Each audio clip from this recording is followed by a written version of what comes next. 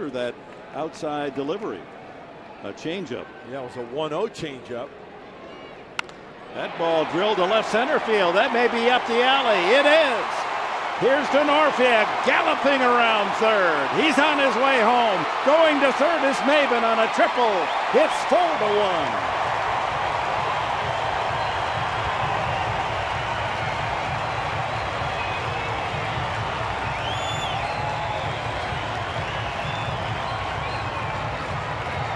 Cameron Maybin back in the starting lineup with that sore wrist has returned and a single to right and a triple to left center. Four and to he, one. And he crushes a mistake.